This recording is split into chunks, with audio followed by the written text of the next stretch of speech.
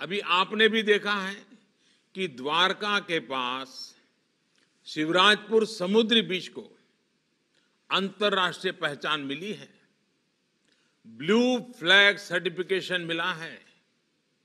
ऐसे स्थलों को विकसित करने पर वहाँ ज़्यादा से ज़्यादा पर्यटक आएँगे और अपने साथ रोज़गार के नए अवसर भी लाएँगे।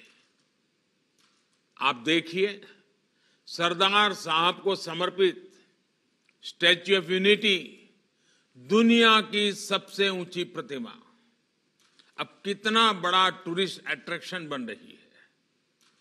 जब ये कोरोना शुरू हुआ, उससे पहले ही करीब करीब 45 लाख से ज़्यादा लोग स्टैच्यू ऑफ़ यूनिटी को देखने जा चुके थे।